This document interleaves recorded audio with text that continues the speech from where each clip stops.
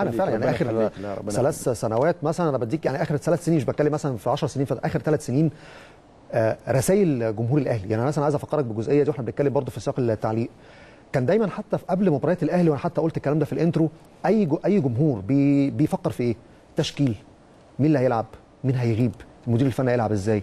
لا ده وصلت لمرحلة أدق التفاصيل إن كان الجمهور الأهلي تحديدا أو الجمهور بشكل عام بيهتم مين اللي هيعلق على المباراة؟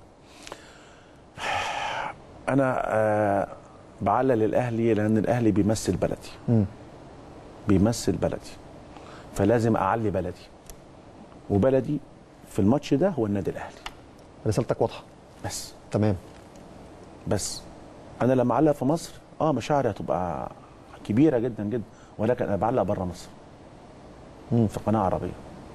فلما الأهلي يفوز بلقب أفريقي فبقمة السعادة وقمة الفخر.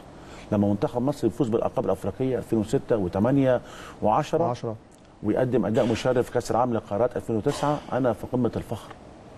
فخور ببلدي سواء كان نادي أو منتخب قدام مين؟ قدام أي زميل آخر ليا. فهي دي القصة. هي دي القصة. غير إن أنا أهلاوي. غير إن أنا أهلاوي. يحبذ إن المعلق يقول انتمائه؟ ما تقول يعني؟ ما, تفرقش. طب ما أنا علقت علقت في ال ART. وعلقت في قناة النيل للرياضه ماتشات أهلي وزمالك واسماعيلي واتحاد بس دوري مصري. مم. لما علق دوري مصري الأهلي حلو هقول حلو. الأهلي سيء هقول سيء. الزمالك حلو هقول حلو. سيء هقول سيء. مم. لأن في أمانة الكلمة. أنا. بعلق للجماهير آه. المصرية. بالظبط. غير لما بعلق في- في في دوله في دوله عربية أو في قناة عربية لفريق مثلا مصري بس فريق مصري بيلعب مع فريق آه، غير عربي. مم. حتى لما كنت بعلق الأهلي والترجي الأهلي والنجم الساحلي بعلق آه للأهلي. بس بتكلم على الفريق المنافس بكل احترام وبكل تقدير. في الدوري المصري لا طبعا أكيد ال- ال- ال- ال- ال- التعليق هيكون مختلف مختلف. مم. كل واحد هياخد حقه. آه، بنقدر كل ال- ال- الفرق بنقدر كل ال- الأندية.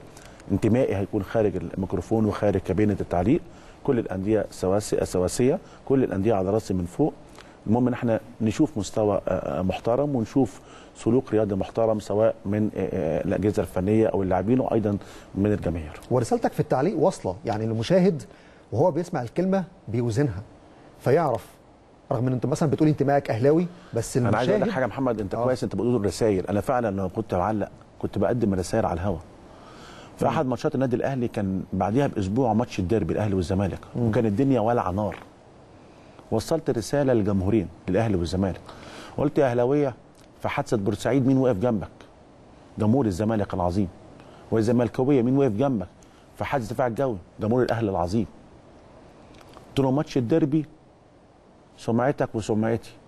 سمعه بلدنا. دي رسالة دي رسائل. بنوصلها للناس. حقيقي.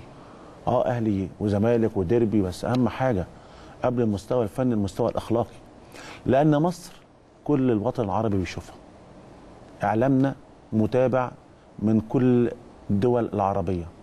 سواء برنامج رياضي برنامج إخباري برنامج سياسي. إحنا إحنا الكبار الموجودين. إحنا كبار موجودين. مم. فكنت بقول الرسائل دي لأن أنا خايف.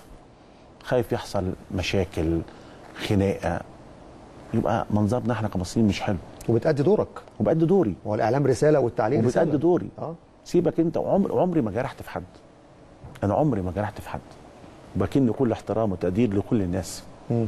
يعني عمري ما اتكلمت عن عن نادي أو عن جمهور أو لاعب أو حكم أو مدير فني بأي كلمة فيها 10% اساءه أو 1% اساءه. لأن لا دايما آه، بقدم رسالة أتمنى هي تكون كانت رسالة خلال الفترة الماضية آه، رسالة محترمة.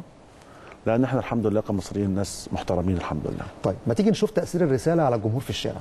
يا رب. أنت قلت رسالتك ومتسجلة والناس سمعتها وفي مباراة لا ده في مباراة واثنين وبطولة وعشرة.